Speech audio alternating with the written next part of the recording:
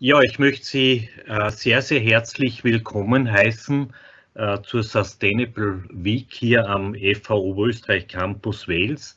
Äh, mein Name ist Ottmar Högling, ich bin der Studiengangsleiter Lebensmitteltechnologie und Ernährung und ich möchte vielleicht vorab ein paar organisatorische Dinge sagen, dass jetzt diese Veranstaltung aufgezeichnet wird, aber es werden alle personenbezogenen Daten werden also auch entsprechend entfernt. Und es gibt also dann auch am Ende äh, der beiden Präsentationen auch die Möglichkeit, also Fragen zu stellen und diese können Sie dann im Chat stellen und diese Fragen werden dann sozusagen für uns äh, weiter äh. Ganz wichtig ist einfach zu sagen, dass das Thema Nachhaltigkeit bei unserem Campus also eine ganz große Rolle spielt und dahingehend möchte ich also dann auch beginnen meine Präsentation. Vielleicht gleich einmal ein Hinweis auf das nächste Thema, das wird Kunststoffe sein und Kunststoffrecycling. Aber heute möchte ich Sie ein bisschen so Ideen äh, bringen, wie sich Lebensmittel der Zukunft entwickeln werden, wie Klimawandel, gesellschaftliche Trends und Bevölkerungsstrukturen darauf ein, also Einfluss haben. Vielleicht, wenn man sich das erste Bild anschaut, dann sehen Sie also Folgendes, dass man auch Ernährung in Zeitalter einteilen kann. Und zwar, man kann sagen, es gibt, es gab eine Zeit der Jäger und Sammler, es gab eine Zeit Ackerbau und Viehzucht, es gab eine Zeit der industriellen Revolution. Und wenn Sie dann schauen, wie haben sich Lebensmittel verändert, dann sehen Sie sehr wohl optisch. Aber im Prinzip, im Inhalt sind sie gleich geblieben. Also man hat auch früher Fleisch gegessen, man hat Früchte gegessen, man hat Fisch gegessen. Aber das, was wir sozusagen getan haben, wir haben diese prozessiert und natürlich ganz anders verpackt. Und jetzt möchte ich mit Ihnen einfach ein paar so Themen angehen, wie wird, wohin wird sich sozusagen die Lebensmitteltechnologie äh, zukünftig entwickeln? Welche Faktoren beeinflusst das eigentlich? Und ein ganz wesentlicher davon sind die gesellschaftlichen, die technischen, die ökonomischen und die ökologischen Entwicklungen, die da Einfluss haben. Ich möchte es anhand von ein paar Beispielen erzählen, aber Ihnen auch noch einmal mit diesem Bild zeigen, sozusagen, wir werden auch in Zukunft das essen, was wir heute essen, nur es wird ganz einfach anders hergestellt werden, prozessiert werden, zusammengesetzt werden, aber es werden Kohlenhydrate, Proteine und Fette sein. Und das können Sie sehr schön an diesem Bild nehmen, das auch Wikipedia ich äh, kopiert habe. Sie sehen, auch die Römer haben Salate gegessen, Kichererbsen gegessen, Rindfleisch gegessen, Quitten gegessen, Apfelsorten gegessen. Es war also im Prinzip sehr, sehr ähnlich, wie wir es heute haben, aber die Form und Darreichung natürlich eine ganz andere. Schauen wir uns einmal an, welche Trends oder welche gesellschaftlichen Trends eine Rolle spielen. Nehmen wir mal den ersten her. Der erste ist mehr oder minder der weltweite Anstieg äh, von Fettleibigkeit. Äh, aus dem letzten Ernährungsbericht Österreich ist es so, dass wir ca. 41 Prozent in der Bevölkerung haben, die Probleme mit dem Gewicht haben. Und daraus entwickelt natürlich auch die Lebensmittelindustrie entsprechende Produkte, also entsprechende Leitprodukte. Die kennen wir zum Beispiel mit weniger Zucker. Ob sie deshalb wirklich weniger Kilokalorien haben und deshalb zur Abnahme führen, das sei dahingestellt. Aber Sie sehen ganz einfach, dass ein gewisser Trend dazu führt, dass neue Produkte entstehen oder auch zum Beispiel gewisse Aspekte. Sie kennen glutenfreie Produkte, die haben sich ganz einfach daraus entwickelt, weil man gesagt hat, Produkte aus Weizen sind problematisch. Man muss sehr sagen, Gluten ist gerade für eine kleine Bevölkerungsproblem äh, Gruppe ein Problem, aber prinzipiell natürlich ähm, kein Thema. Schauen wir uns an, welche anderen Aspekte wichtig sind. Also was führt dazu, dass sich andere Punkte entwickeln? Das ist die Bevölkerungsstruktur. Im Endeffekt ist es so, dass die Bevölkerung, sie wird immer älter. Wir haben eine ältere Bevölkerung das heißt also auch, dass man hier sehr viele Produkte entwickeln wird, die diesen spezifischen Ernährungsbedürfnissen angepasst sind. Das heißt also ganz einfach angereichert mit Vitaminen, mit Mineralstoffen, weil das oft ein Mangel in der älteren Bevölkerung ist. Sie sehen auch zum Beispiel, dass sich unser Verhalten, wo wir wohnen, Einfluss hat. Ähm, wir leben heute alle sehr konzentriert in Ballungszentren und das bedeutet ganz einfach, dass wir natürlich auch Convenience-Produkte brauchen und man braucht sich hier, oder es wird sich auch hier ganz klar zeigen, dass diese Convenience-Produkte auch in Zukunft stark forciert werden, werden, weil wir einfach uns in den Ballungszentren konzentrieren. Und dann gibt es natürlich auch andere gesellschaftliche Trends, die wie äh, vegane Ernährung, vegetarische Ernährung. Auch die hat natürlich einen ganz wesentlichen Einfluss, wie sich unsere Produkte zukünftig entwickeln. Das waren sozusagen gesellschaftliche Trends. Ich werde dann später immer ein paar Beispiele bringen, äh, ein bisschen im Detail. Und dann haben wir sozusagen ökologische Trends. Bei den ökologischen Trends ist es im Endeffekt so, dass natürlich der Klimawandel uns ganz einfach dazu zwingen wird, gewisse Dinge zu ändern. Aber er wird uns auch dazu zwingen, gewisse Technologien anzunehmen, über die ich auch später dann reden werde. Es ist hier immer die Frage, wie viel Prozent machen Lebensmittel im Klimawandel aus? Die Zahlen sind die durchaus unterschiedlich, 30 Prozent, 25 Prozent, 20 Prozent, aber es ist ein nicht unwesentlicher Anteil. Das wird auch dazu führen, dass wir sozusagen auch die Nutzpflanzen einschränken werden. Auch das werde ich später ein bisschen genauer erläutern. Und dann gibt es noch etwas, was auch ähm, die Lebensmittelindustrie sehr stark beeinflussen wird. Das sind Themen der Globalisierung. Das sind Themen äh, der Konzentration des, im Lebensmittelhandel. Klar, Globalisierung bedeutet, ich kann faktisch alles zu jeder Zeit haben und Konzentrierung im Lebensmittelhandel bedeutet eigentlich, dass sehr wenige Menschen auch entscheiden, was wir sozusagen zum Essen bekommen.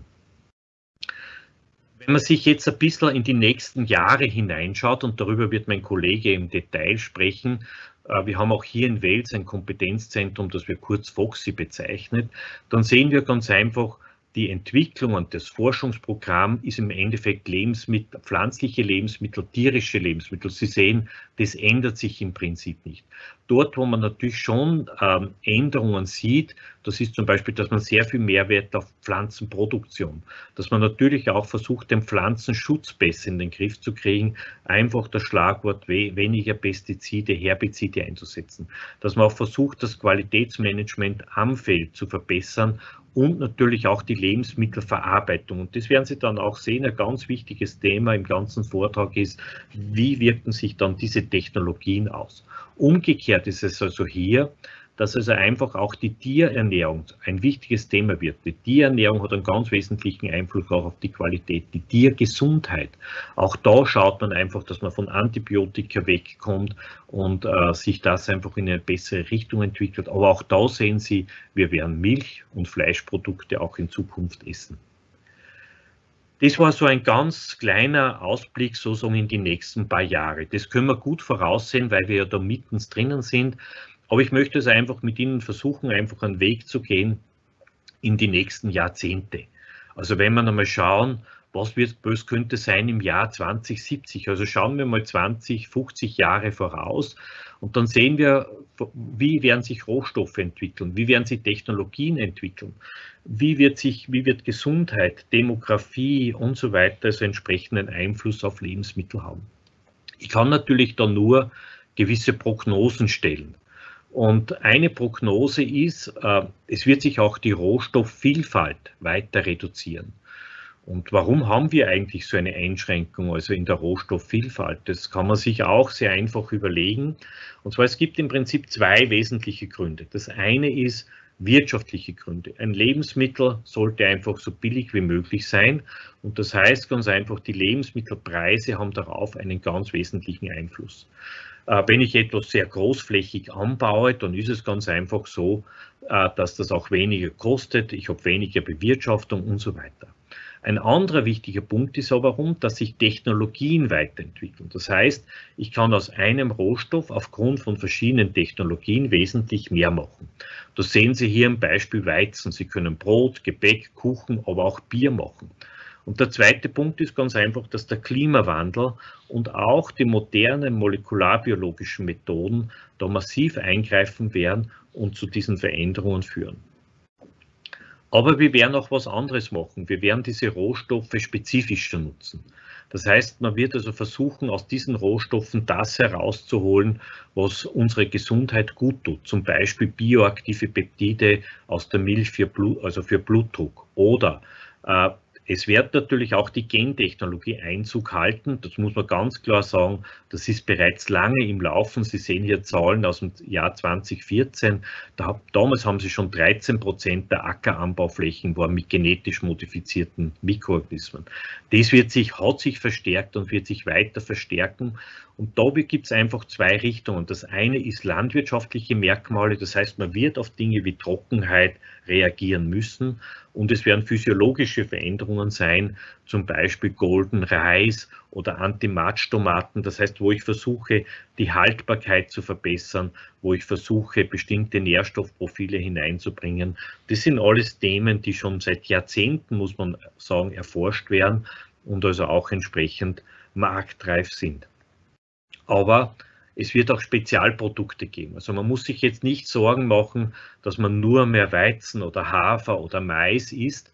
Äh, es werden sich gewisse Spezialprodukte natürlich halten. Es werden Nischen vorhanden sein. Äh, das wird in verschiedenen Bereichen sein, bei Getreide, bei Ölsaaten oder zum Beispiel bei bestimmten Superfoods, äh, wo man das also einfach auch entsprechend anbauen wird. Natürlich nicht alles bei uns, aber weltweit gesehen sehr wohl. Und dann kommen immer zwei wichtige Themen daher. Und diese wichtigen Themen, das ist sozusagen, das sind das Thema Insekten. Das geistert sozusagen auch durch die Landschaft. Man muss sagen, Insekten an und für sich haben ein sehr gutes ernährungsphysiologisches Profil. Die enthalten Proteine, gute Fette, enthalten auch Vitamine, Mineralstoffe. Man kann sie relativ günstig züchten. Aber der Punkt ist das Aber. Man muss sagen, wir sind keine Insektenesser in unserer Region. Ähm, wir werden diese Insekten nicht direkt essen, außer ich sage für bestimmte Partys, Snacks und so weiter, wird man das also zu sich nehmen. Aber wo werden sie sicher im größeren Stil eingesetzt? Und das passiert auch bereits. Das ist zum Beispiel in der, in der Fischzucht, in der Garnelenzucht, also wo man dann das Fischmehl ersetzen wird und äh, entsprechend Insekten bereits jetzt einsetzt. Aber die großtechnischen Anlagen, die entstehen also gerade zur Zeit. Also wie gesagt, Insekten ein Thema, aber weniger direkt, sondern indirekt für Fischfutter, Garnelen und so weiter. Wie ist das Thema Algen? Äh, das Thema Algen ist an und für sich auch ein sehr interessantes. Man muss aber auch klar sagen, äh, dass das Thema Algen nur für uns in Europa, wo wir Exoten sind auf dem Gebiet, in asiatischen Ländern sind Algen sozusagen etwas, was man täglich auf den Tisch bekommt. Auch das wird sich in unseren Regionen äh, muss sagen, verstärken, aber der Fokus wird hier eher sein, dass man Algen einsetzt, jetzt nicht als klassisches Lebensmittel, sondern es wird sein, dass man es als Nahrungsergänzungsmittel und so weiter verwendet.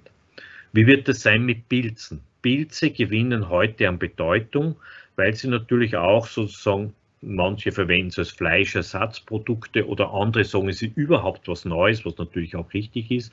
Aber auch Pilze haben eine sehr gute Möglichkeit. Aber es ist natürlich die Zucht und die Bereitstellung relativ aufwendig. Das heißt, diese Dinge werden sicherlich längere Zeit eher in hochwertigen Produkten drinnen zu sein, aber sie werden sicher verstärkt auch unsere Nahrungspalette verbessern. Was wird noch passieren?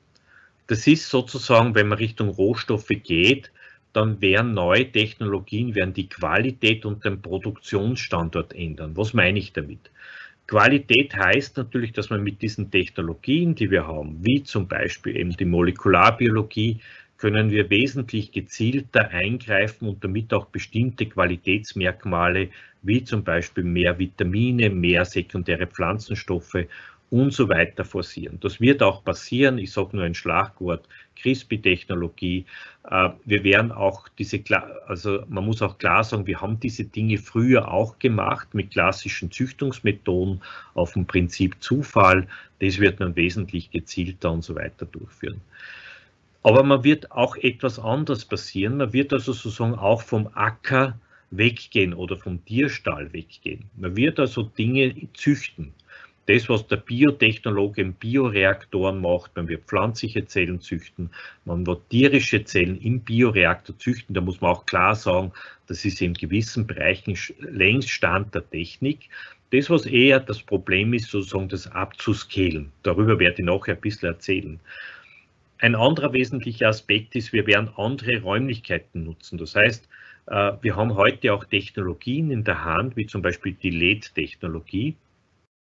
Die führt uns also ganz einfach dazu, dass wir zum Beispiel auch Innenräume nutzen können. Das ist in anderen Ländern, ich habe das also gesehen, äh, was wir sehen, Dubai und diesen Ländern längst der Stand der Technik. Da gibt es sogar eine eigene Stadt in Abu Dhabi, wo also das realisiert worden ist.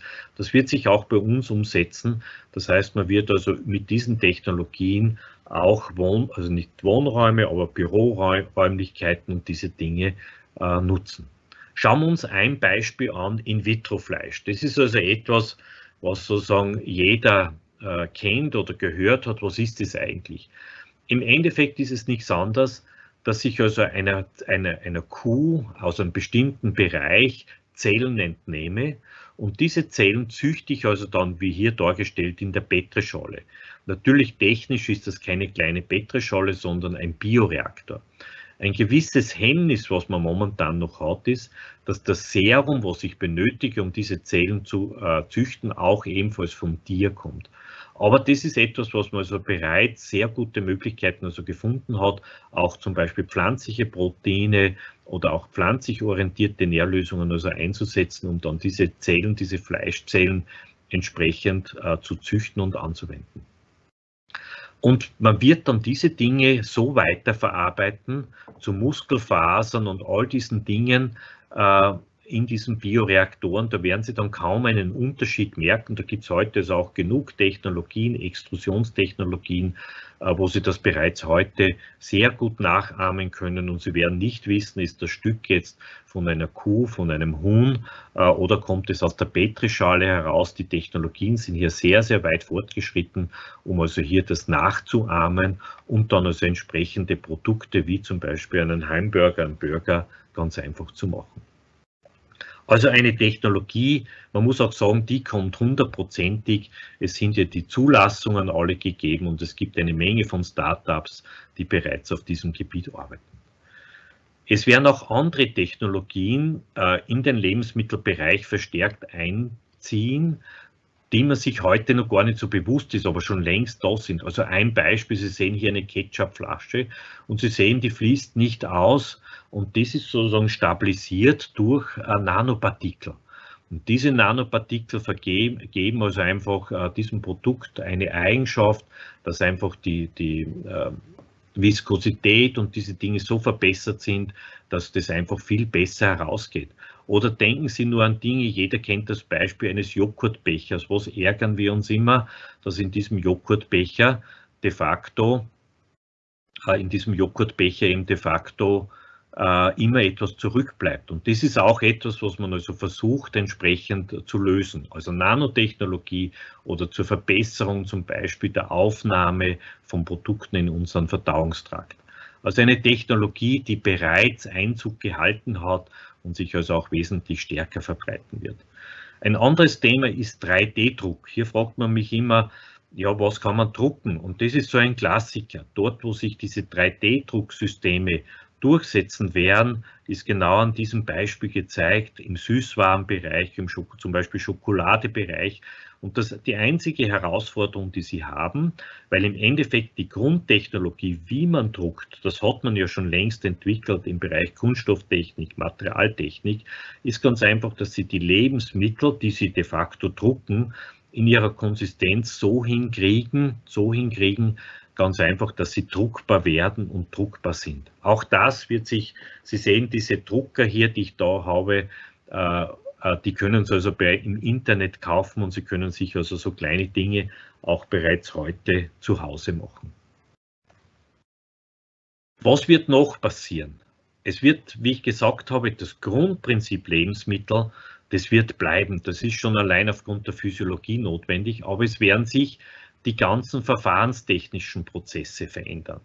Und diese ganzen verfahrenstechnischen Prozesse, äh, da wird man also viel Technologie hineinsetzen. Wie kann ich zum Beispiel wesentliche Komponenten, die für ein Lebensmittel interessant sind, gerade Richtung Gesundheit, wie kann ich die mit, mit mit, äh, also mit Membrantechnologien zum Beispiel herausholen?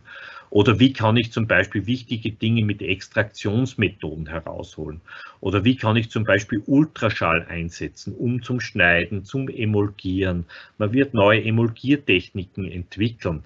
Da muss man klar sagen, all diese Dinge, die hier stehen, sind im Prinzip in den technischen Ansätzen längst realisiert, werden verwendet und werden also dazu beitragen, dass wir ganz einfach Lebensmittel auch zielgerichteter äh, produzieren können. Ja, man wird sich natürlich auch damit beschäftigen, äh, wie können wir sozusagen ein Lebensmittel minimal prozessieren. Das heißt einfach, wir sagen ja immer, Rohkost ist so wichtig, ist so äh, entscheidend, aber natürlich, wir haben immer ein kleines Problem, äh, wenn man Dinge prozessiert, dass auch da das Problem auftritt, dass ich Veränderungen herbeiführe. Vitamine werden abgebaut, es bilden sich Produkte, die unangenehmlich sein können und so weiter. Und da ist eher im positiven Sinne wird man Prozessiertechnologien entwickeln oder man hat sie bereits. Ich sage nur ein Beispiel, High-Pressure-Technologie, äh, wo man also wesentlich schonender pasteurisieren kann als mit den üblichen Pasteurisierungs- oder Sterilisationsmethoden. Ja, es werden sich neue Garverfahren oder Garverfahren verbessern. Auch diese Sachen sind etwas, was heute verwendet wird. Es wird verbessert werden, weil wir bessere Materialien haben. Man wird also auch Technologien einsetzen, die also aus dem Bereich der Reinraumtechnologie kommen, sprich ähm, also aus dem Bereich der Flugzeugindustrie und so weiter, um also ganz einfach Reinräume zu haben, um sicherer zu sein, um Produkte langlebiger zu machen, wie Schinken, Wurst, Käse. Auch das ist bereits Realität heute, vielleicht noch nicht so weit verbreitet, aber auch das, äh, diese Hygienik-Design-Methoden etablieren sich immer stärker. Wir werden funktionelle Lebensmittel wesentlich stärker verwenden, als wir es heute tun. Äh, Sie werden Lebensmittel bekommen, die eher für Ihre Herzgesundheit sind, die eher da sind für ihre Augenerkrankungen, die eher da sind für sportorientierte Personen, äh, die eher da sind im, im Kosmetikbereich. Sie sehen, da gibt es den Bereich Nutri-Cosmetics-Bereich und so weiter, die entzündungshemmend sind. Also auch dieses Gebiet wird sich viel, viel stärker ähm, äh, entwickeln. Es wird dieser Bereich Nahrungsergänzungsmittel, funktionelle Lebensmittel, auch das ist heute schon ohnehin schon schwer zu trennen, aber das wird immer mehr miteinander verschwimmen. Ja, man wird auch Technologien stärker forcieren, um eben die Haltbarkeit zu verbessern. Das ist sicher auch ein Trend, der einfach da ist, das heißt Produkte länger haltbar zu machen. Auch diese Technologien, da möchte ich, werde ich jetzt nicht ins Detail eingehen, aber es ist im Endeffekt so, all diese Technologien sind heute verfügbar. Sie sind vielleicht heute noch nicht großtechnisch verfügbar, aber sie sind da und sie werden weiterentwickelt, um also einfach auch Lebensmittel sicherer zu machen und länger haltbar zu machen. Das ist auch ein wesentlicher Aspekt, den wir ja auch haben, auch wieder Richtung Umweltschutz, wo das ja auch ein Vorteil ist, wenn die Verschwendung stark reduzieren kann und diese Dinge entsprechend beibehalten kann. Äh, es wird auch diese Technologie, die Biotechnologie, noch stärker äh, in die Lebensmittelproduktion hineinkommen. Auch das hat einen umweltschonenden Aspekt, weil sie natürlich damit oft wesentlich äh, abfallfreier prozessieren können. Und äh, der Punkt ist heute, wir verwenden heute circa 200 Enzyme bereits in der Lebensmitteltechnologie. Äh, das sind also Art Biokatalysatoren, aber man wird diese Biokatalysatoren adaptieren. Das heißt, dass Sie die auch bei hoher Temperatur verwenden können, dass Sie es bei niedriger Temperatur verwenden können, dass Sie zum Beispiel bei hoher Konzentration von Salzen verwenden können. Also und das wird uns also auch wiederum einiges an neuen Möglichkeiten geben, um Produkte anders äh, zu prozessieren. Ja, ein Thema, das auch sehr stark hereinspielt, das ist dieses Thema ähm, der Genetik oder das Nutrigenomik. Was heißt das? Das heißt das nichts anderes, dass wir ganz einfach fähig sein werden, gewisse Voraussagen zu machen, wie wir uns ernähren sollen. Wir kennen, das ist ein großes Problem der Ernährung. Jeder von uns ist ein Individuum, das ganz unterschiedlich auf Ernährung reagiert. Und das macht auch also so Ernährungsberatung so schwierig, weil jeder hat einen anderen Zuckerstoffwechsel, sie steigen, der Zucker steigt bei dem einen mehr oder äh, schwächer an. Und diese Dinge versucht man natürlich zu korrelieren mit genetischen Markern. Diese genetischen Marker sind sicher heute noch schwach ausgeprägt, aber da darf man eines nicht vergessen. Es wird auch die Bioinformatik wesentlich äh, verstärkter werden und es wird auch in Zukunft, äh, ich sage einfach ein Szenario voraus, Sie gehen in den Supermarkt, ein Chip liest Ihre genetische Ausstattung und Sie nehmen die entsprechenden Lebensmittel oder kaufen die entsprechend ein. Also auch ein Thema, das ganz einfach nicht aufzuhalten ist, weil einfach die Themen der Molekularbiologie, der Bioinformatik ganz einfach äh, sich stark verbessern. Ich habe Ihnen jetzt einiges gezeigt, äh, wo sich die Welt mehr oder minder hinentwickeln kann. Äh, das ist natürlich ein, eine Prognose, ähm, die man so oder so auch jetzt sehen kann, aber die Frage ist, vielleicht entwickelt sie sich, und jetzt möchte ich einfach ein bisschen schwenken, ein bisschen nachzudenken, ist es der richtige Weg? Äh, ist es einfach, wird es auch wirklich so kommen? Denn wir haben, muss man klar sagen, auch andere Probleme.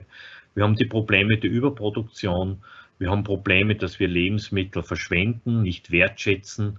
Äh, wir haben das große Problem des Klimawandels, den ich nachher noch stärker forcieren werde.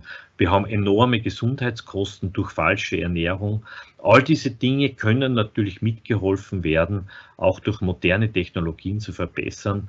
Wir haben eine extreme Ungleichverteilung von Land und natürlich, wir haben das Problem, ich habe es einfach salopp geschrieben, von Billigsprodukten. Das sind Dinge, die uns alle beeinflussen.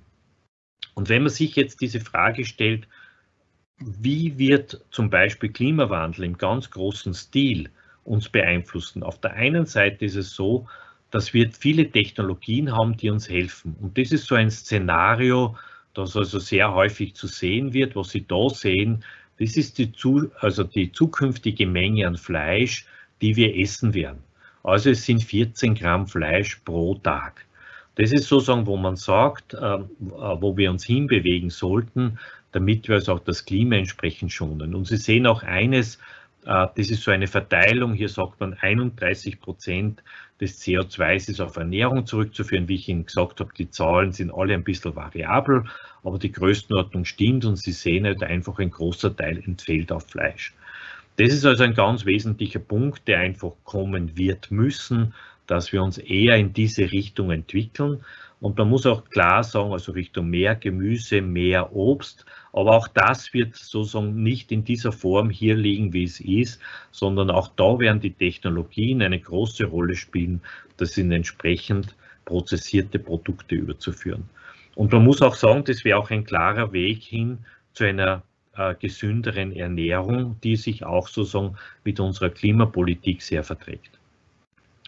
Und Sie sehen auch da, wohin wird uns die Klimapolitik treiben oder das Klima treiben. Sie wird uns de facto unter Anführungszeichen zwingen, unsere Ernährungsweise umzustellen in diese Richtung hier, äh, wo man sagt, okay, die halbe Platte wird Obst und Gemüse sein, der Rest wird also eher Fleisch oder wenig Fleisch dabei sein. Das ist ein der Punkte. Sie wird uns aber auch zwingen, mehr oder minder Technologien anzunehmen. Also es wird äh, auch dieser Weg einfach notwendig sein. Oder ich habe diese Bilder in Tansania gemacht, wie ich vor zwei Jahren war.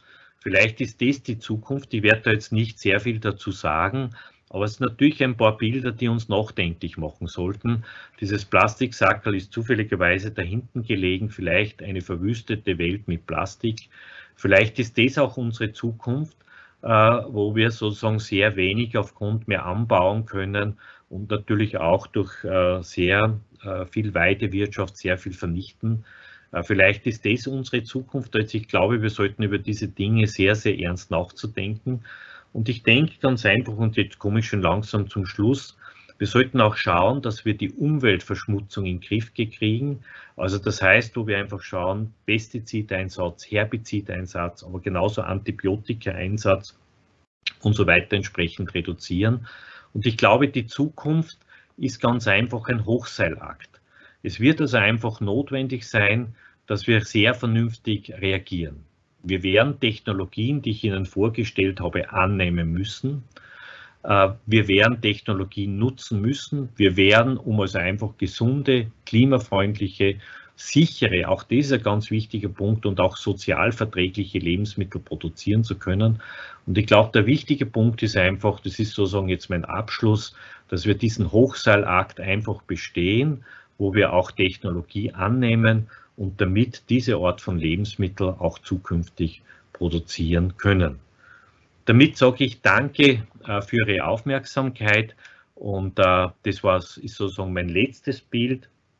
Und ich möchte also dann äh, sehr gern auf meinen Kollegen, den Julian Weghuber, überweisen. Der wird, äh, wird Ihnen also ein bisschen mehr Details erzählen, was wir sozusagen in der Forschung hier am Campus Wales machen. Noch einmal herzlichen Dank für Ihre Aufmerksamkeit.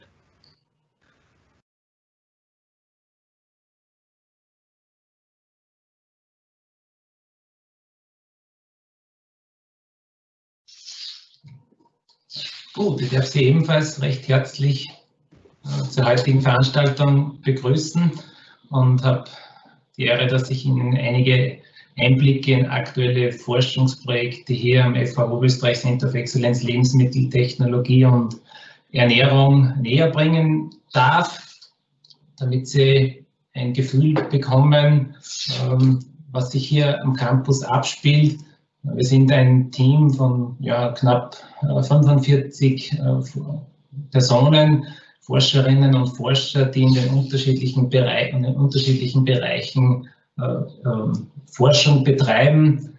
Das geht von klassischer Lebensmitteltechnologie über zellbiologische und molekularbiologische Themen hin zur analytischen Chemie insbesondere aber auch zu interdisziplinären äh, Themen und Forschungsgebieten wie etwa Mikroskopie und biophysikalischen äh, Themen. So interdisziplinär wie die Themen sind, äh, sind es auch die Mitarbeiter, die unterschiedliche Backgrounds haben, aus der Molekularbiologie, aus der Lebensmitteltechnologie, aus der Mikrobiologie und aus der Chemie, aus der Analy insbesondere der analytischen Chemie. So schaut es bei uns hier aus. Sie sehen hier einen Einblick in unser Analytiklabor mit unterschiedlichen chromatografischen Technologien, um verschiedenste Substanzen zu identifizieren, qualitativ bzw. auch quantitativ nachzuweisen, beziehungsweise hier Einblicke in unsere Mikroskopie-Facility, wo wir verschiedenste äh, In-vitro, also Zellversuche äh, durchführen können, und mit dem Schwerpunkt äh, zelluläre Prozesse äh, zu äh, beschreiben. Hier sehen Sie Einblick in unser Mikrobiologie-Labor und Molekularbiologie-Labor, wo ebenfalls In-vitro-Versuche durchgeführt werden die, die, und, und, verschiedenste Mikroorganismen, Bakterien, Schimmelpilze unter kontrollierten Bedingungen untersucht werden können. Zum Thema, ähm, wenn man sich mit Nachhaltigkeit äh, und Ernährung beziehungsweise der, der Ernährung beschäftigt, dann wird man schnell bemerken, dass hier unterschiedlichste Parameter mit reinspielen. Das reicht von äh, so traditionellen äh, kulturellen Parametern wie der, der Religion, dem Geschlecht, dem, Wissen, insbesondere der Bildung. Nur wenn entsprechendes Wissen da ist, dann ist man sich auch bewusst dessen, was man und wie man äh, ist. Ähm, dann ist das eine ganz äh, wichtige Voraussetzung hinsichtlich der Menge an produzierten und äh, konsumierten Lebensmitteln. Produziert heißt ja, wie wir wissen, nicht konsumiert, sondern es wird viel mehr produziert als konsumiert. Umgekehrt ähm, sind wir uns dessen bewusst, wie viel Lebensmittel, ähm, damit Kalorien, wir in welche Form zu uns nehmen. Ne? Zuckerreiche und äh, Ernährung, gesättigte Fettsäuren, weniger denn ungesättigte etc. Und das ist dann natürlich eng verbunden mit äh, der menschlichen Gesundheit. Wenn die Ernährung schlecht ist, dann hat das immer einen immensen Ein Einfluss auf äh, die Medizin, sprich das Auftreten von Krankheiten äh, und damit verbunden etwa auch dem Alter. Umgekehrt, äh, man braucht dann, hat man diese Parameter wie den, Verbrauch von Wasser. Das ist oftmals ein bisschen im Widerspruch zu den zu medizinischen Parametern. Wenn Sie denken an so Superfoods wie etwa die Avocado, die als Superfood mit super Fettsäurespektrum äh, gezählt wird, gleichzeitig aber extrem hohen Wasserverbrauch hat. Ne? Äh, Bodennutzung, Landnutzen, damit verbunden die, die Biodiversität oder die Arten- und Pflanzenvielfalt. Und gleichzeitig muss man Lebensmittel ja auch verpacken und zusätzlich auch im Idealfall äh, gerecht verteilen. Da spielen dann diese so Parameter wie das, die, die Einkommenniveaus der Bevölkerung und auch des Staates, wie viel Finanzmittel hat der Staat zur Verfügung für die Versorgung seiner Bevölkerung, sind die Lebensmittel per se leistbar. Ja, das ist auch ein springender Punkt. In Österreich etwa 20 Prozent der Bevölkerung kann sich Lebensmittel leisten, ohne dass sie darauf schauen muss, wie ohnehin genug äh, Finanzkraft vorhanden ist dann 20 Prozent der Bevölkerung muss das Billigste kaufen, weil nicht mehr Geld für teure oder für hochwertigere Lebensmittel vorhanden ist.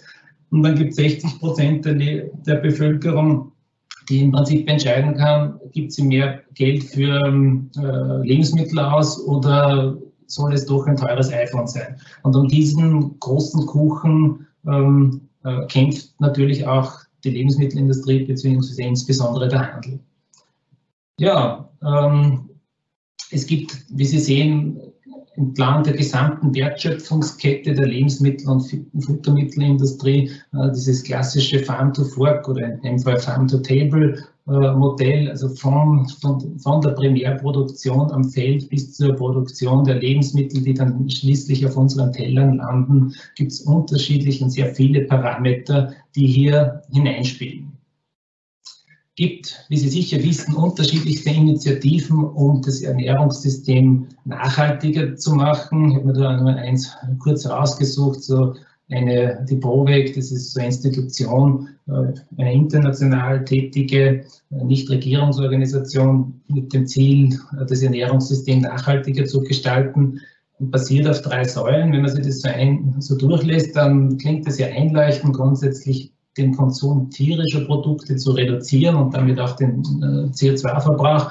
gleichzeitig die Produktion pflanzlicher Lebensmittel zu fördern.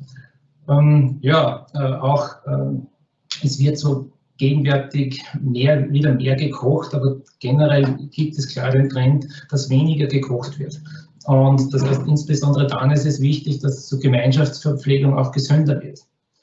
Wenn man jetzt äh, kurz äh, da rein äh, denkt, was den CO2-Bedarf äh, oder ähm, die CO2-Produktion bei der, wie es der Höhlinger angesprochen hat, bei der Lebensmittelproduktion äh, betrifft, da ist etwa so, Rindfleisch, äh, das hängt dann auch mit dem Punkt zusammen, weniger tierische Produkte. Für die Produktion von Rindfleisch wird ungefähr 13 Kilo CO2 freigesetzt bei der Produktion von einem Kilo Rind, ähm, Getreide ist es unter ähm, einem Kilogramm CO2. Das heißt, natürlich sind pflanzliche Produkte hier viel besser. Das heißt aber nicht zwingend, dass dann pflanzliche oder vegane, insbesondere vegane Produkte dann gesünder sind. Und diese Dis Diskrepanz gibt es immer.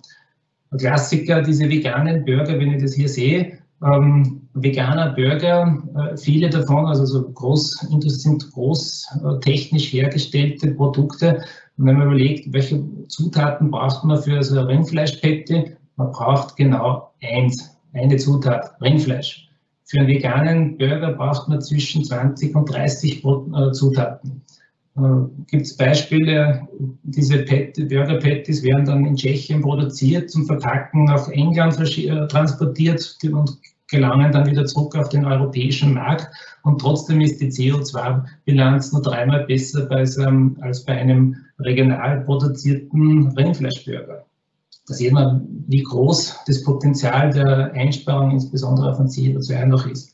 Anderes Beispiel wäre hier Rotmilch bzw. auch Mandelmilch etwa, ist das gleiche, äh, gilt als super Ersatz für, für ja, Kuhmilch äh, hingegen, wenn man sich überlegt, woher kommt diese Mandelmilch, die meiste Mandelmilch kommt aus Kalifornien.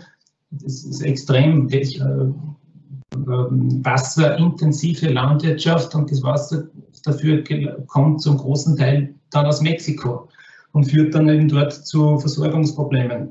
Sowas kann auch nicht nachhaltig äh, sein.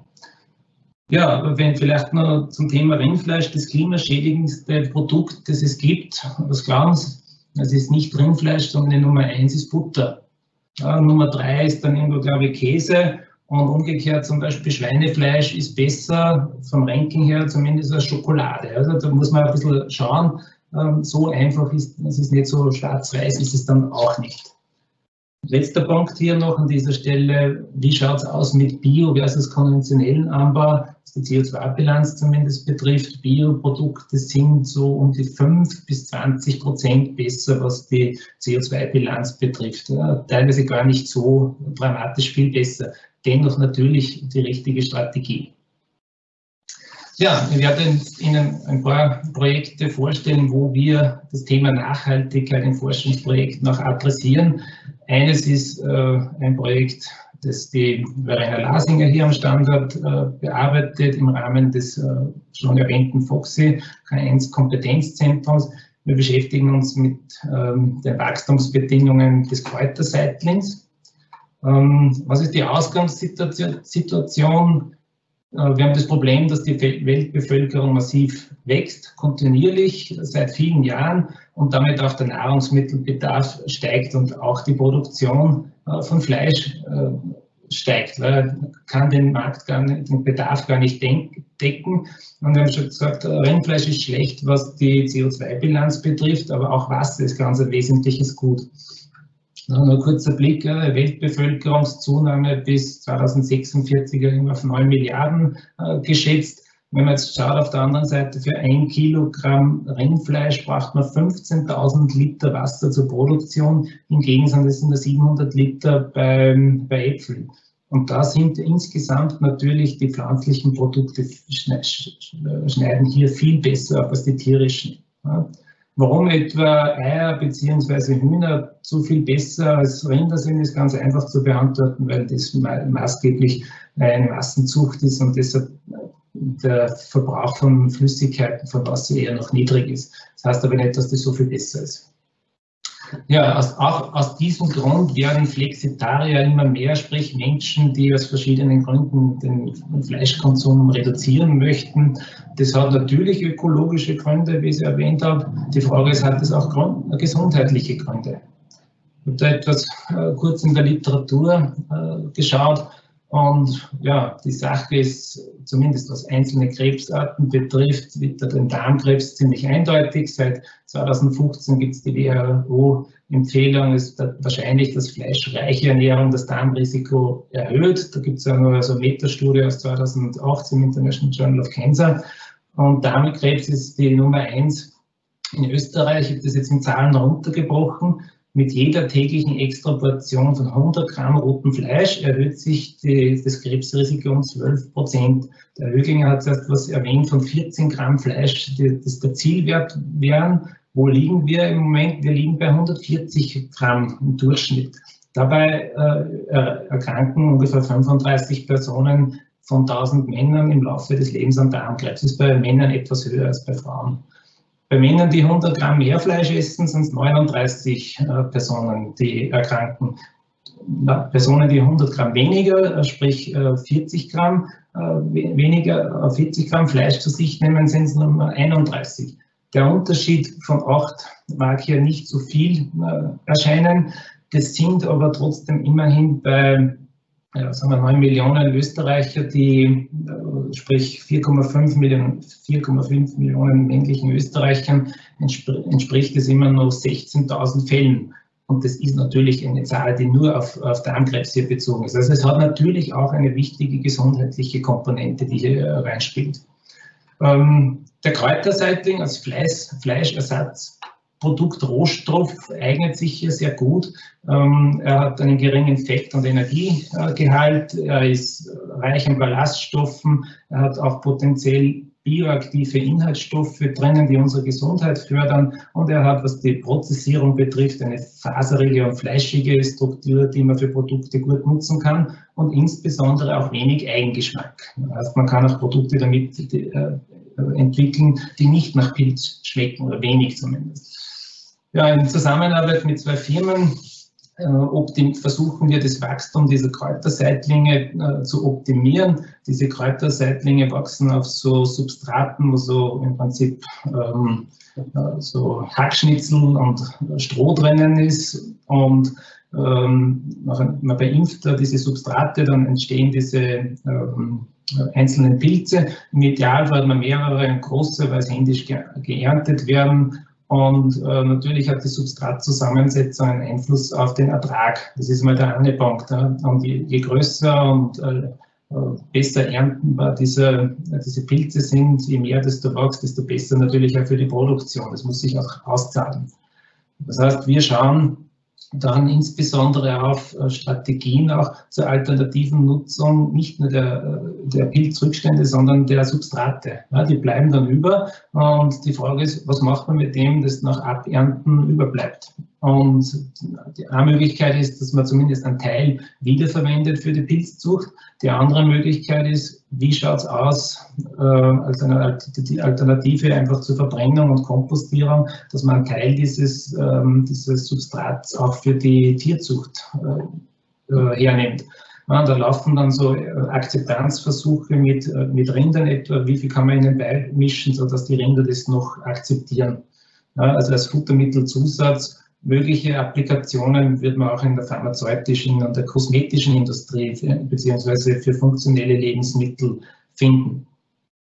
Das wäre dann der zugrunde liegende Nachhaltigkeitskreislauf. Man hat das Substrat, das aus unterschiedlichen Rohstoffen besteht, unterschiedliche Holzsorten. Das kommt ja primär aus dem asiatischen Bereich. Ja. Reisstroh ist bei uns kein regionales Produkt und das heißt, wir suchen nach Alternativen, äh, um regionale äh, Substratzusammensetzungen äh, zu identifizieren, wo man trotzdem ein perfektes oder zumindest optimiertes Pilzwachstum erwarten kann, dass die, der Ertrag hoch genug ist.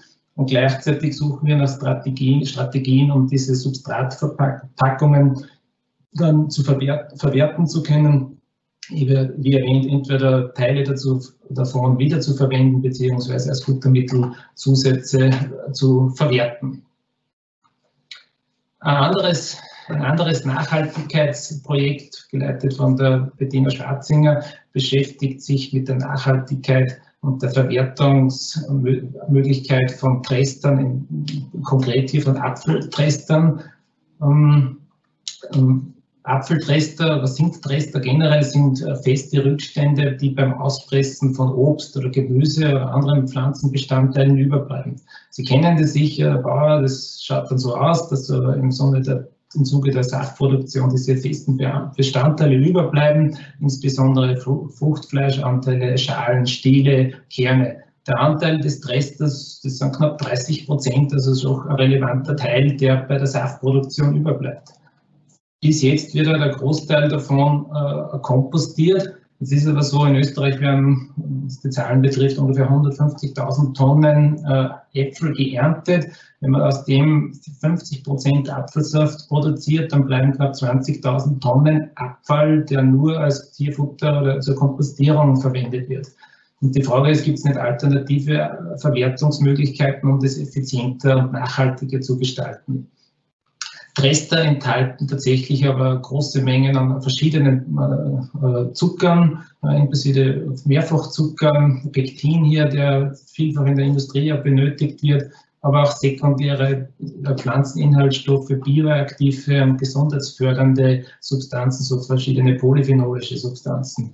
Und im Zuge dieses Forschungsprojekts werden unterschiedliche Apfelsorten und ihre Trester auf die Inhaltsstoffe analysiert es ist tatsächlich so, dass allein in Oberösterreich 3000 verschiedene Apfelsorten gibt und die eignen sich natürlich unterschiedlich gut für die jeweiligen Applikationen, entweder als Süßungsmittel, als Ballaststoff, als äh, Substanz wie Pektin für die zur Süßung oder auch, wenn es einen hohen Faseranteil hat, als Beiprodukt oder als Basis für biologische äh, Verpackungsmaterialien. Ein großes und wichtiges Thema in Ja, wenn man dann zum Beispiel schaut, wir haben da zwei verschiedene Trester gehabt und der Unterschied, ohne dass ich da jetzt ins Detail gehe, ist, die Dresdner A hat einen, einen, hohen Anteil an Pektin von dieser Apfelsorte, womöglich in der Streuobstwiese und Dresdner B hingegen, der, der Rohstoff liefert an Dresdner, wo fast überhaupt kein Pektin drinnen ist. Und je nachdem ist dann der Faseranteil dann wieder unterschiedlich groß. Und man kann auf Basis dieser Ergebnisse dann entscheiden, okay,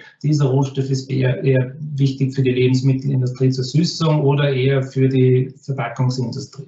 Ja, das sind wichtige Erkenntnisse, die bei der industriellen Produktion dann eine Rolle spielen. Ja, als nächstes Thema die, eine, ein wichtiges im Bereich der Bäckereiindustrie, äh, nämlich jenes, um Schimmel zu identifizieren und zu charakterisieren und auf Basis der Ergebnisse Präventionsstrategien äh, ähm, zu entwickeln. Geleitet wird es ebenfalls im Rahmen eines FOXI-Projektes von der Nicole Bollinger in Zusammenarbeit mit Firmenpartnern. Warum ist das relevant? Äh, Schimmelpilze und äh, insbesondere Pilzsporen sind ein potenzielles Gesundheitsrisiko, wie Sie sicher wissen, und können verschiedenste allergische Reaktionen, medizinische äh, problematische Reaktionen verursachen, Atemprobleme etwa und insbesondere das Problem der Mykotoxinbildner. Sie kennen vielleicht äh, das Mykotoxin, das Aflatoxin, die auch in geringsten Konzentrationen schon neurologische Probleme äh, verursachen können. Ja, Sie kennen sicher so verschimmeltes äh, Brot. Und wenn Sie das anschauen, Sie sehen nur den Schimmel, aber das ist nicht nur eine Schimmelart, sondern meistens ist es eine wilde Mischung aus verschiedensten Schimmeln und insbesondere Bäckereiprodukte sind hier problematisch, weil der Schimmel auch ins Brot reindringt und man den nicht einfach wegschneiden kann, sondern im Prinzip ist dieses Produkt dann zu entsorgen. Wenn man jetzt versuchen möchte, äh, diese, auf Basis dieser Ergebnisse äh, ja, Vermeidungsstrategien zu entwickeln, dann muss man zuerst einmal wissen, worum handelt es sich. Das heißt, ich brauche Möglichkeiten, um diese äh, Schimmel zu identifizieren. Das geht auf unterschiedlichste Art und Weise und man braucht hier ein Sammelsurium an mikrobiologischen, an mikrobiologischen beziehungsweise auch an molekularbiologischen Technologien. Das ist nämlich die Ausgangssituation so gewesen. Sie kennen vielleicht äh, so klassische Brotkörbchen, die zum, für den Backprozess genutzt werden. Das wird auch großtechnologisch nach wie vor so gemacht, zur Fermentation beziehungsweise für den Backprozess dann. Und wenn man da im Detail reinschaut, dann nach mehrfacher Nutzung, also die Körbe, die werden mehrfach genutzt, man kann die nicht äh, aufgrund der Kosten nur einmal benutzen. Und oftmals ist es dann so, dass sie hier so ein Belag äh, bildet und ähm, das schaut weder appetitlich aus, noch ist es vielleicht unbedenklich. Und auch wenn im Zuge der Produktion äh, irgendwie 140, 150 Grad für den Backprozess, da sterben zwar die Mikroorganismen ab, aber womöglich nicht ihre gebildeten äh, Sporen bzw. Toxine und außerdem gibt es ja nicht nur den Konsumenten, sondern es gibt ja auch den Mitarbeiter und die Mitarbeiterin am Standort. Und auch hier ist es wichtig, äh, vorbeugend agieren zu können. Und äh, um dem auf die Spur zu gehen, werden, müssen diese Pilze von den Rohstoffen äh, kultiviert werden. Das basiert auf auf Basis von verschiedensten äh, Nährstoff, äh, auf verschiedenen Nährmedien, wo diese Pilze ausgestrichen und verdünnt äh, werden. Und dann kommt so klassische Mikroskopie ins Bild und dann sieht man, ja, das, das Penicillium, das, hat so, das bildet so Hyphen und das schaut, das kann man vielleicht zuordnen, aber anderes schaut ganz ähnlich aus und dann steht man mit der Mikroskopie schnell mal an.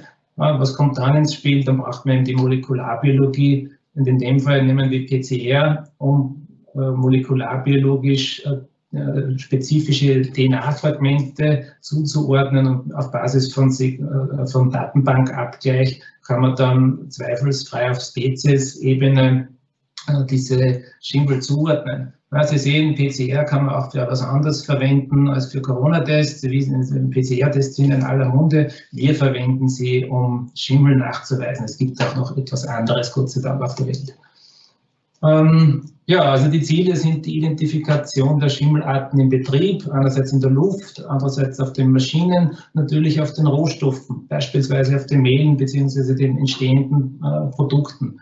Das ermöglicht es uns dann, äh, Strategien zu entwickeln in Zusammenarbeit mit den Firmen, um eben Hygienemaßnahmen zu evaluieren und die Produktionsanlage zu optimieren. Und dadurch erreicht man auch eine Vermeidung von Lebensmittelverschwendung bei gleichzeitigem Vorteil für den Konsumenten durch sichere Lebensmittel.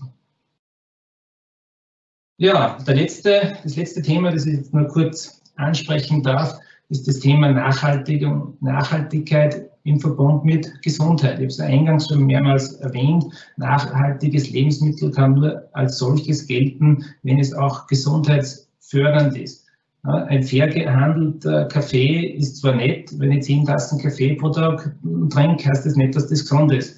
Äh, ein brauner Zucker, der Bio ist, ist genauso ungesund in großen Mengen wie ein Nicht-Bio-Zucker, äh, der in schwarzen Kaltgetränken vorhanden ist. Ja, und mit diesem Thema beschäftigen wir uns insbesondere am Josef Ressel Zentrum für pflanzliche oder phytogene Wirkstoffforschung. Das ist eines der Leuchtturmprojekte, das ich hier am Standort äh, leiten darf. Und es geht dabei um potenziell gesundheitsfördernde Wirkungen von pflanzlichen Inhaltsstoffen.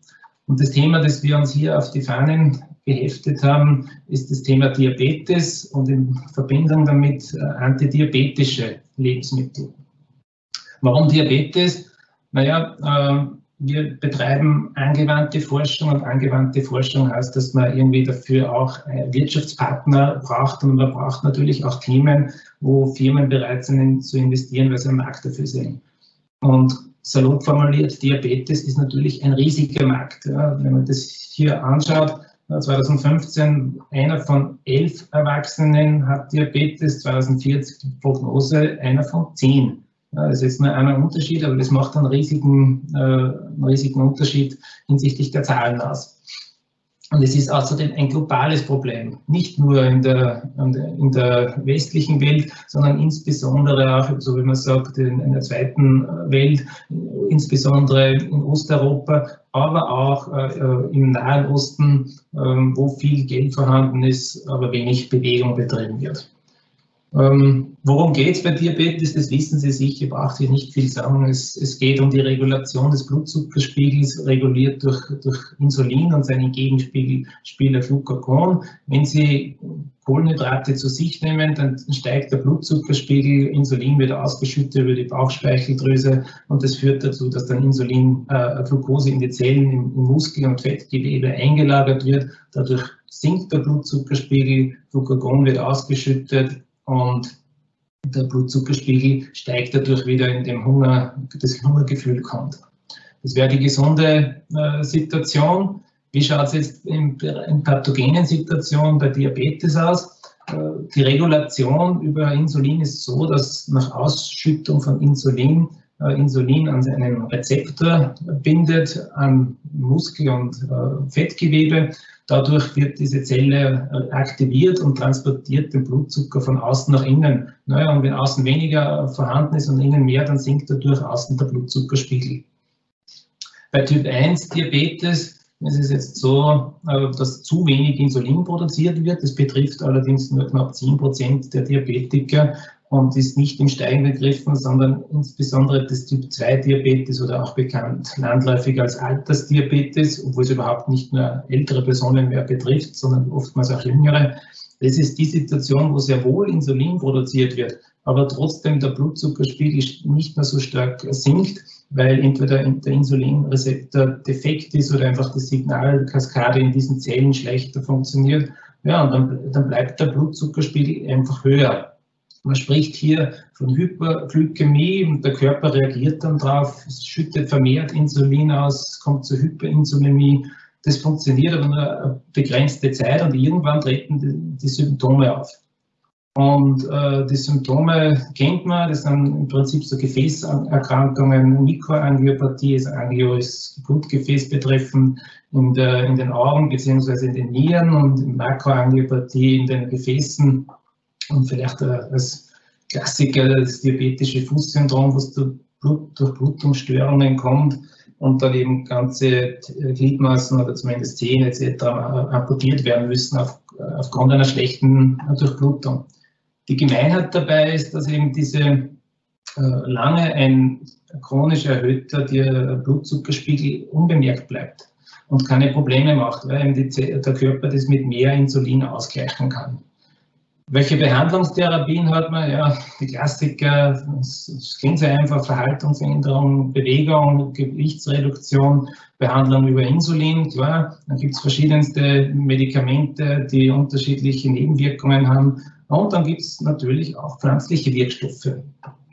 Und es geht, glaube ich, hier nicht so viel, nicht so stark um die Behandlung, sondern vielmehr um die Prävention. Und hier bieten pflanzliche Wirkstoffe aufgrund ihrer trotzdem geringeren Spezifität große Vorteile. Kennen vielleicht den Spruch von Hippokrates, die Lebensmittel sind die Medizin und äh, die Medizin sind eure Lebensmittel. Äh, neumodern würde man sagen, man isst, was, was man isst. Und äh, wenn man weiß, wie man sich ernährt, um bestimmte Probleme zu adressieren, dann hat man einen großen Vorteil. Äh, die Motivation dahinter ist, es gibt tausende Pflanzenarten, die potenziell physiologisch-medizinische Wirkungen haben. Tatsächlich äh, ist aber nur ein Bruchteil, der wissenschaftlich bzw. pharmazeutisch auch äh, belegt ist. Umgekehrt gibt es 60 bis 70 Prozent aller Arzneimittel, die gegenwärtig ähm, am Markt sind, leiten sich ursprünglich von natürlichen Substanzen zusammen etwa das Morphin. Morphin ist äh, äh, das Opium aus, äh, aus dem Schlafmohn etwa. Das ist eine natürliche Substanz. Oder das Taxol aus der Rinde der pazifischen Eibe. Das ist äh, ein Krebszytostatikum, das eben in der Krebstherapie eingesetzt wird. Oder jeder von uns nimmt immer wieder mal Acetylsalicylsäure, ähm, stammt ursprünglich aus der Weidenrinde. Ja, das, äh, die Salix sind alles ursprünglich natürliche Substanzen, oftmals dann in unterschiedlich oder leicht chemisch modifizierter Form appliziert. Unser äh, Anspruch oder unser Ziel ist es, die Aufnahme von Glucose über den Darm, also intestinal heißt den Dünndarm betreffend, zu reduzieren. Das heißt, wenn weniger Glucose aus dem Darm in den Blutkreislauf gelangt, ja, dann steigt der Blutzuckerspiegel weniger stark. Das Ganze funktioniert so, man hat hier die Darmzellen, das wäre der Darminhalt, wo der Nahrungsbrei vorbei transportiert wird mit den Kohlenhydraten. Äh, auf der anderen gegenüberliegenden Seite dieser polarisierten Zellen aber die Blutgefäße und da gibt es spezifische Transporter für die unterschiedlichen Kohlenhydrate, etwa Glucose und, und Fructose. Und wir suchen jetzt nach Substanzen, die äh, spezifisch den Transport von Glucose oder Fructose auf diesen, äh, in diesen Zellen inhibieren, um so eine äh, reduzierte Glucoseaufnahme und damit einen geringeren Blutzuckerspiegelanstieg zu realisieren. Wie geht das Ganze? Man kann nicht alles ja direkt gleich am Tier oder Menschen probieren, sondern man braucht einfach In-vitro-Modelle, das machen wir mit so Zellmodellen, die, wo, wo wir so Darmzellen auf Oberflächen wachsen lassen und dann einfach schauen, äh, wie gut wird äh, Glucose über diese Zellen transportiert. Ähm, und äh, auf diese Art und Weise haben wir unterschiedliche pflanzliche Wirkstoffe identifiziert oder Extrakte, die hier funktionieren. Etwa ein Extrakt aus Guave-Früchten und, und Blättern, hat sich als effizient herausgestellt. Auch Apfelextrakte funktionieren. Das funktioniert in, vitro. Die Frage ist, funktioniert das in höheren äh, Säugetieren etwa auch? Dann haben wir Mäuse mit diesen Extrakten äh, konfrontiert, also einen oralen Glukosetoleranztest. Die, die Mäuse machen das zwar nicht freiwillig, aber trotzdem, es funktioniert. Und dann haben wir geschaut, inwieweit, wie weit ändert die Zugabe dieses Extrakts den Anstieg des Blutzuckerspiegels. Und das ist die Kontrolle ohne Extrakt und zwei verschiedene Extrakte. Und Sie sehen, dass nach 30 Minuten der Blutzuckerspiegel viel weniger stark ansteigt als bei der Kontrolle. Also es funktioniert auch in, äh, in Mäusen. Und wenn man sich jetzt dann die nötigen Entwicklungsschritte am Beispiel dieser Guave-Extrakte anschaut, Etabliert haben wir diese Systeme irgendwie 2014, 2015. Dann haben wir einen großen Screen durchgeführt, um verschiedenste Extrakte zu testen. Dann sind wir irgendwie drauf gekommen, ja, Guave, das schaut ganz gut aus. Dann haben wir das im Detail validiert, haben zusammen mit einem Firmenpartner patentiert und äh, schließlich publiziert. Und ich habe gesagt, das funktioniert bei der Maus. Letzt, vor zwei Jahren haben wir dann eine klinische Studie am Menschen auch durchgeführt und auch hier hat sich gezeigt, dass das, äh, diese Reduktion der intestinalen Glukoserezeption tatsächlich funktioniert. Und in den letzten ein, zwei Jahren haben wir uns dann hauptsächlich um die großtechnische Herstellung gekümmert. Das heißt, wie bekommt man ausreichend gute Rohstoffe, damit man dann ein funktionelles Lebensmittel herstellen kann, das tatsächlich auch hier seine Wirkung entfalten kann und in ausreichender Menge zur Verfügung steht. Gut. Ich hoffe, ich habe Ihnen jetzt einige Einblicke in aktuelle Forschungsprojekte hier am Standort geben können und gerne beantworten wir jetzt Ihre Fragen dazu.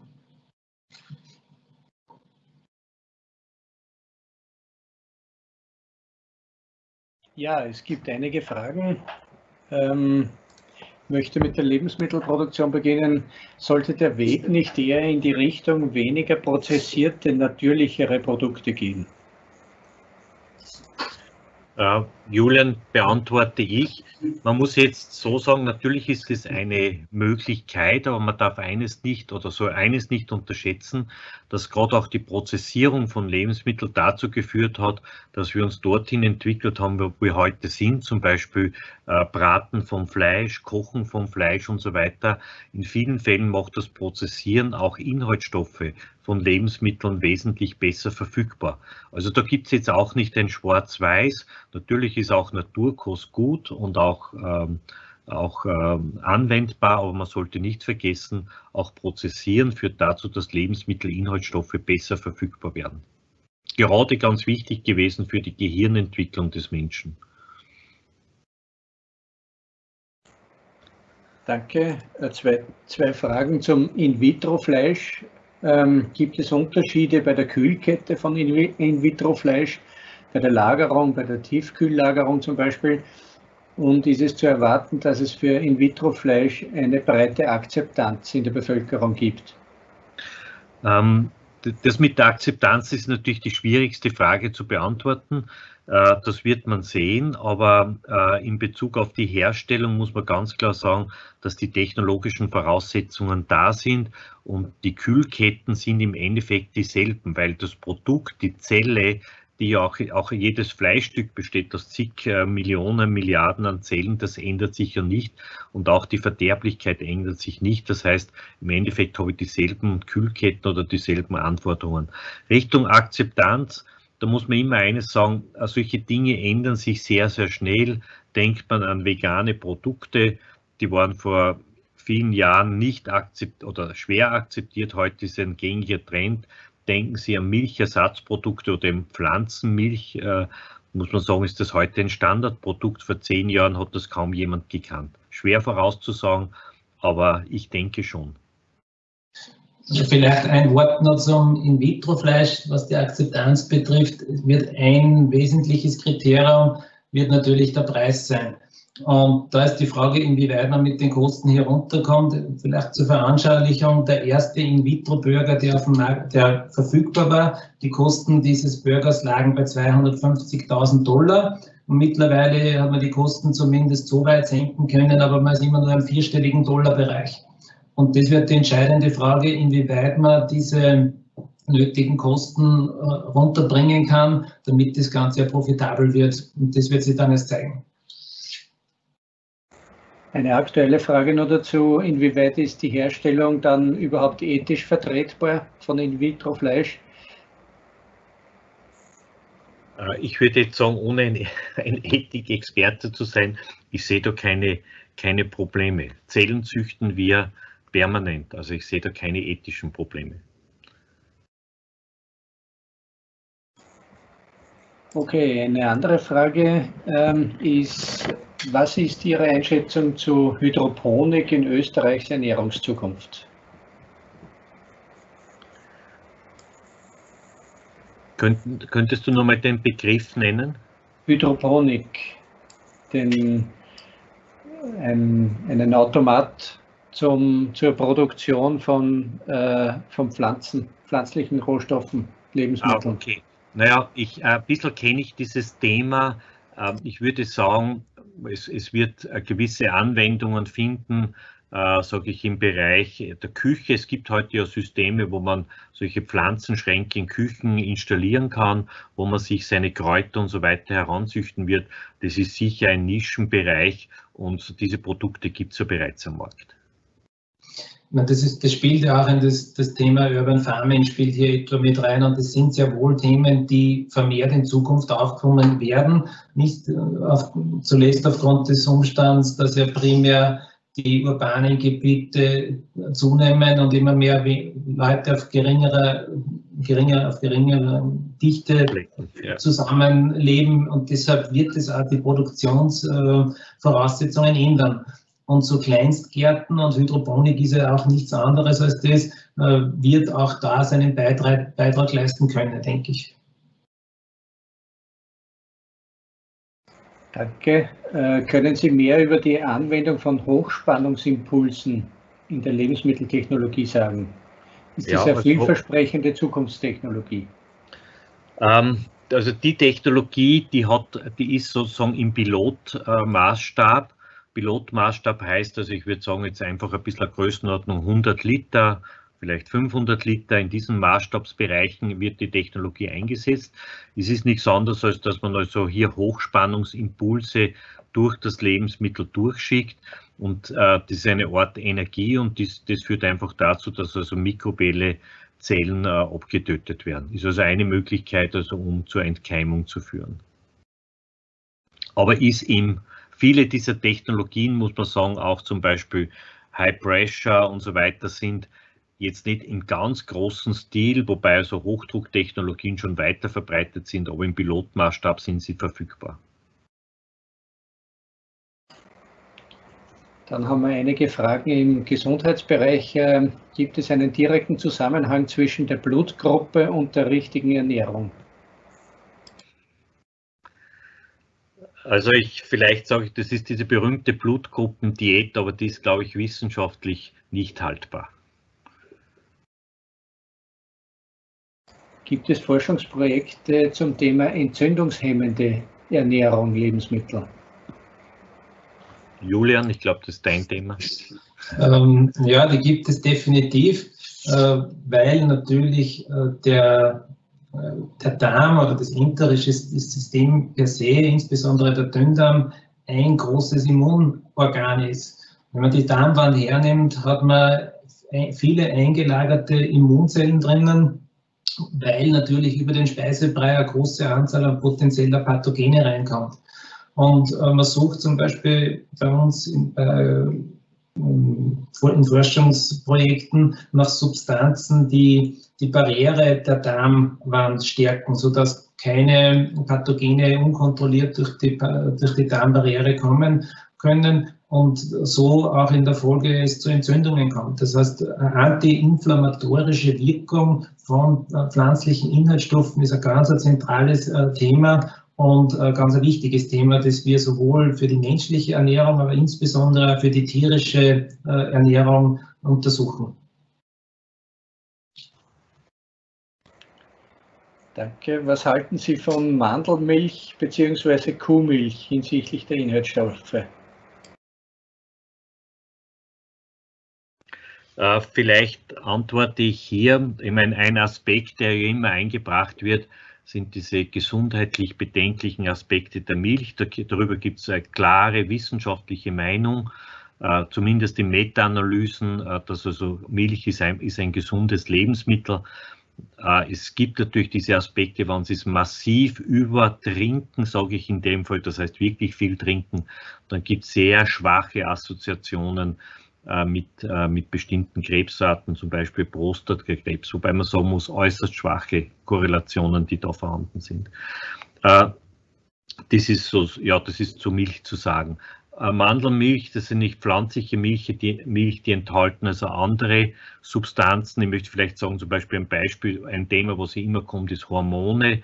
Nicht zu vergessen, es gibt auch pflanzliche Hormone, Isoflavone zum Beispiel, die also auch in Sojamilch vorkommen. Also dieses Thema ist auf beiden Seiten vorhanden. Aber wie ich gesagt habe, die Meta-Analysen zeigen ein sehr klares Bild. Warum ist der Trend der veganen oder der vegetarischen Ernährung in, in den Ländern des Nordens aktueller und bei uns im Süden nicht so sehr? Ähm, ich glaube, es gibt äh, einer der Gründe, es gibt eine sogenannte Nordic Diät.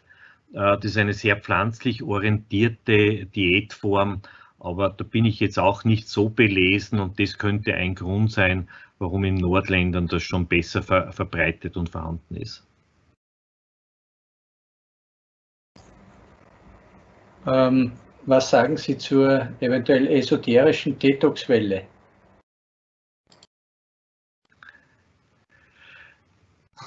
Ähm, bitte. Detox ist im Prinzip einfach ein, äh, ja, ein salopp geführter Begriff, der halt gerne von der Industrie aufgegriffen wird, um Themen, die ursprünglich halt anders geheißen hat, neu aufzubereiten.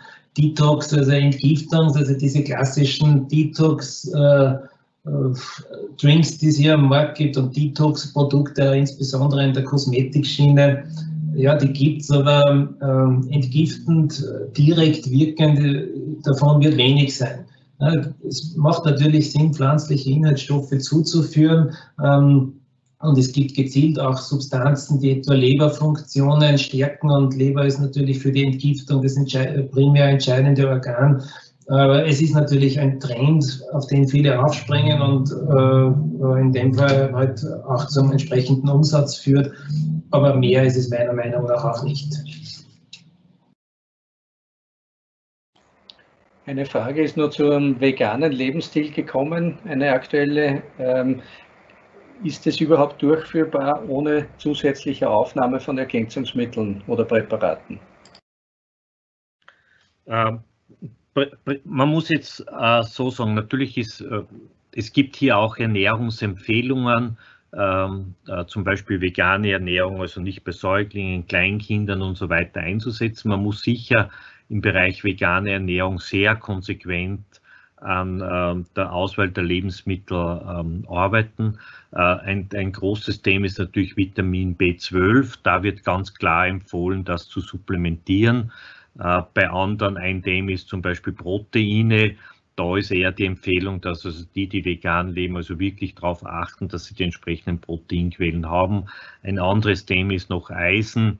Das ist ein bisschen strittig, ob man hier supplementieren muss oder nicht, aber der wesentliche Punkt ist, äh, sich sehr genau zu überlegen, was man hier isst. Vielleicht noch ergänzend dazu, das Thema der Supplementierung ist nicht nur eines, das jetzt vegane Ernährung betrifft, sondern es ist eine, die die gesamte Bevölkerung betrifft. Äh, Vitamin B12 ist ja, die, stimmt, die Liste an äh, unterrepräsentierten ähm, Vitaminen ist aber lange. Etwa haben wir in Österreich eine Unterversorgung an Vitamin D, insbesondere im Winter von 90 Prozent. Und natürlich kann man äh, durch gezielte Ernährung es auch zusammenbringen, dass man den Vitamin D-Spiegel anhebt, aber es ist in unseren Breitengraden nicht so einfach. Ja, gerade im Winter, äh, Vitamin D ist nur in wenigen Lebensmitteln in, in einer namhaften Größe vorhanden. Sie können Champignons essen, damit Sie den Vitamin D-Spiegel abdecken können, müssen Sie ungefähr 1,4 Kilo Champignons pro Tag essen oder 2,3 Kilogramm Lachs. Ähm, ja, und wenn keine Sonne zur Verfügung ist, dann können Sie sich leicht ausrechnen, inwieweit hier es zu einer Unterversorgung kommt. Und gerade Vitamin D und auch Vitamin K sind sehr wohl äh, Vitamine, die insbesondere für ein funktionierendes Immunsystem von zentraler Bedeutung äh, sind. Danke. Ähm, eine Frage zu den Fischen. Wird heimischer Fisch als wertvolle Quelle für Omega-3-Fettsäuren an Bedeutung gewinnen? Äh, ich glaube, da kann man auch nur, wenn man sich die Initiativen anschaut, man versucht, ähm, äh, man versucht also sehr wohl auch diese Fischproduktion anzukurbeln. Ja, ob wir damit den Markt decken können, das kann ich jetzt nicht sagen. Dazu kenne ich diesen Markt viel zu wenig. Aber man versucht auch, ich bin zum Beispiel, wir arbeiten auch an einem Projekt mit Garnelen. Äh, auch diese Dinge versucht man immer heimisch, mehr heimisch zu produzieren. Natürlich ja immer mit diesem Argument der Regionalität. Aber ich denke, es wird zunehmen. Vielleicht in Ergänzung dazu, es ist, ich denke, dass mit den Hauptprodukten am, am, österreichischen Markt mit den Fischen, die heimischen Fischen, die primär am Markt sind, wird es nicht so einfach möglich sein, weil insbesondere die Salmoniden, Süßwasser-Salmoniden bei uns nicht den nötigen Omega-3-Gehalt aufweisen, wie das Fettfische aus dem Meer etwa tun. Wenn dann über, so wie es der Höglinger angesprochen hat, über, über Garnelen, die, also Süßwassergarnelen, die Alternative wäre auch vegane äh, Quellen, sprich Süßwasseralgen, die für die Fett, äh, Omega-3-Fettsäureproduktion herangezogen werden und das wird teilweise auch schon gemacht. Äh, ähm, regionaler Fisch, ja, ob er den Bedarf an Omega-3 und Omega-3-Fettsäuren decken kann in der Form, wie es Meeresfische, Meer, fette Meeresfische können, das bezweifle ich. Julian, gleich eine Frage an dich äh, zur Forschung. Wurde bei Ihrer Studie mit den Pflanzen, pflanzlichen Stoffen, die die Saccharide binden sollen und nicht nur durch den Dünndarm lassen und überprüft, äh, auch überprüft, was mit den Zuckern passiert, die dann weiter zum Dickdarm kommen. Werden die Bakterien diesen umbauen oder abbauen? Kommt es, kommt ja. es vermehrt zu Gasen? Das ist eine exzellente Frage. Grundsätzlich ist es so, wenn Sie den, in der intestinalen intestinalen Abschnitt die Zuckerresorption so inhibieren, dass ganz wenig Zucker nur mehr absorbiert wird, dann gelangt er natürlich in den Dickdarm und wird dort durch, Mikro, durch das Mikrobiom verstoffwechselt äh, werden, was zu einer Zunahme der Gasbildung dann führen würde. Das ist aber der Vorteil an pflanzlichen Wirkstoffen, dass die Effizienz da einfach geringer ist als bei äh, pharmazeutischen Reinsubstanzen. Und wir haben eine Reduktion der Blutzuckeraufnahme bei der höchsten Konzentration des Extrakts irgendwie in der Größenordnung 30 bis 40 äh, Prozent gehabt. Und es hat aber keine Probleme, zumindest bei diesen Probanden, die wir gehabt haben, hinsichtlich der, hinsichtlich der Verdauung geben. Äh, man wird aber in einem finalen Produkt hier nicht so sehr auf so hohe Konzentrationen dann gehen, sondern das Ziel wird ja eher sein, äh, präventiv geringe äh, die Zuckeraufnahme zumindest zu reduzieren, nicht komplett einzuschränken. Und das ist eben der Vorteil dieser natürlichen Extrakte und deren Inhaltsstoffe. Danke. Es gibt einige Fragen auch zu den Insekten, Ottmar. Ähm, ist es zukunftsträchtig, die Insekten auch in der Nutztierfütterung einzusetzen? Äh, ja, das ist, also ich kann jetzt nur sagen, äh, Themen, die momentan sehr stark diskutiert sind. Ich habe es ja gesagt, äh, Fisch ist eine Anwendung, Garnelen ist eine Anwendung, äh, Hühnerfutter ist eine Anwendung. Ähm, überall dort wird man äh, diese, diese Produkte einsetzen. Ob es jetzt zum Beispiel in der Schweinemast eingesetzt werden kann, kann ich nicht sagen, aber ist an proteinreich und ich kann mir durchaus auch vorstellen, dass dort supplementiert äh, wird mit diesen Proteinen. Ja. Und die Sache, die am meisten also forciert wird, das ist eben die schwarze Soldatenfliege und zwar speziell also hier die Made, äh, die, kann man, die hat also ein sehr, ein sehr gutes äh, Protein-Fettsäure-Profilverteilung und deshalb kann man daraus eine Vielzahl von Produkten machen. Aber Hühner und Fisch und Garnelen, das sind Dinge, die konkret bearbeitet werden. Danke. Und noch eine Frage, die aus FH-Sicht auch ganz interessant ist, nachdem die FH sehr viel FH-Bier braut. Äh, wie sieht die CO2-Bilanz von Bier aus? Ähm. ich habe es halt schon gesagt, für die Produktion von 1 Kilogramm Getreide braucht man 0, wird 0,75 Kilogramm CO2 freigesetzt. Und das ist im Vergleich zu Rindfleisch ungefähr 20 Mal besser. Es ist die Frage, was man mehr konsumiert davon. Manche konsumieren mehr Rindfleisch als Bier oder umgekehrt. Aber ich glaube, man kann das jetzt auf den jetzt nicht runterbrechen.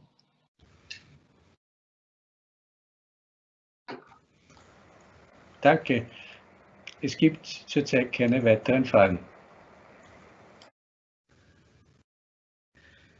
Ja, wenn es dann keine we weiteren Fragen mehr gibt, dann möchte ich mich sehr, sehr herzlich bedanken, auch dass Sie so lange ausgehalten haben.